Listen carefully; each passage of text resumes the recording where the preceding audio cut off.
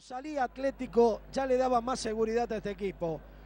Lo madruga literalmente Atlético a Ferro, desconcierto en el fondo, el centro de Leandro González buscando precisamente la soledad en el área de Rodríguez y el Pulga no hace nada más que tocar la pelota sobre la salida del limusín y marcar, insisto, en el amanecer del partido el 1 a 0 tranquilizador por ahora para Atlético. Bueno, sexto gol del Pulga Rodríguez en lo que va del campeonato y pasa a ser el, el goleador en solitario por uno que le lleva a Molina que tiene cinco.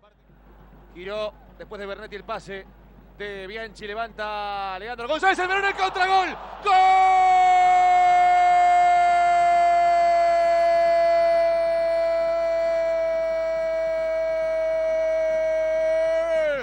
De Atlético Tucumán. Justo Salmerón, ídolo en caballito, emblema de ferro, contra su propio arco de cabeza, la mete a los 20 del segundo tiempo, Atlético 2, Ferro 0, Salmerón en contra.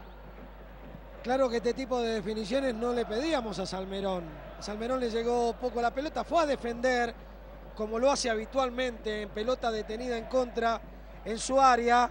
Tuvo la mala fortuna que el cabezazo en lugar de salir para afuera se lo clava arriba, lejos del alcance de Limusín, que obviamente no lo esperaba, entra como un centro atacante, pero de Atlético Tucumán, y cuando la cosa se le complicaba en la definición Atlético, se lo facilita Salmerón. Mala fortuna para el 9, pero más tranquilidad para el local.